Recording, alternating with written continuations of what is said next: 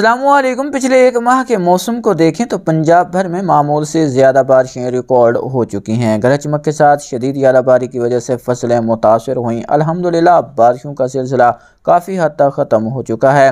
लेकिन खत्ता पोठवार के किसान भाइयों के लिए 9 से 11 अप्रैल के दौरान मज़ीद बारिश मौजूद है। इस वीडियो में हम 20 अप्रैल तक के मौसम की बात करेंगे। पहले कुछ मौसमियाती अवामिल पर नज़र डाल लेते हैं। एम जी ओ वे मगरबी बहरुलकाहिल पर मौजूद है। जेट का असर E C M W F के मुताबिक 11 अप्रैल तक, जबकि G F S weather model के मुताबिक 8 अप्रैल तक रहेगा। अब जैसे ही जेट का असर ख़त्म होगा तो ऊपरी सतह पर एंटी साइक्लोन मतलब हाई प्रेशर हवा का ज़्यादा दबाव बन जाएगा।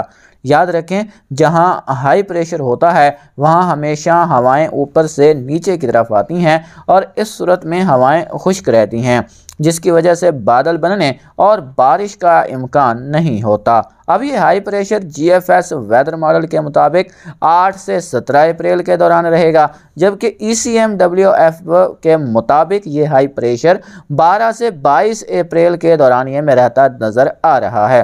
जब तक हाई प्रेशर रहेगा, तब तक पंजाब के अक्सर मकाम पर मौसम खुश्क रहेगा। दर्जा हरारत बढ़ेंगे, जो कि गंदम के काश्तकारों के लिए काफ़ी फ़ायदा मंद है। अब 8 अप्रैल तक पंजाब के अक्सर इलाकों में मौसम खुश्क रहेगा। दर्जा हरारत में इजाफा होगा। कोहे सलेमान पर डेवलपमेंट मुमकिन है। जो नज़दीकी इक्का दुक्का मकाम पर बारिश का सबब बन सकती है। 9 से 11 अप्रैल के दौरान एक और सिलसिला असरअंदाज होगा, जो अक्सर इलाकों में बादलों की वजह बनेगा। बारिश लिया, तोसा डेरा गाजी खान, भक्खर, खुशाब, चकवाल, सरगोधा मियाँ वाली मर्री, अटक, फैसलाबाद, मंडी बहाबुद्दीन इस्लामाबाद, रावलपिंडी, लाहौर के अजला में देखने को मिल सकती है। लेकिन ये बारिश भी महदूद इलाकों में होगी। वसी पैमाने पर फ़िलहाल बारिश बरसती दिखाई नहीं दे रही।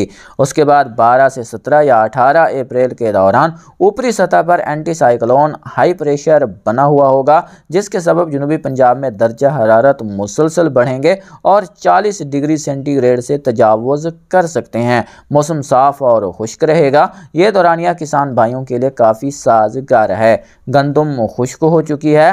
इस दौरानिए में कटाई और गहाई का अमल कर लें।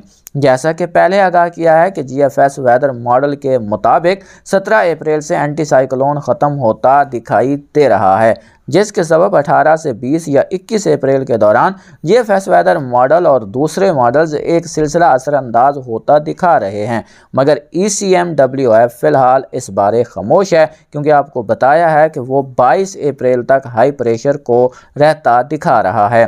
इसलिए किसान भाई गंदम की कटाई और गहाई का अमल जल्द से जल्द मुकम्मल की करने की कोशिश करें, क्योंकि ईद के बाद हमें एक बार फिर बारिशी सिलसिले शिद्दत इख्तियार करते दिखाई दे रहे हैं।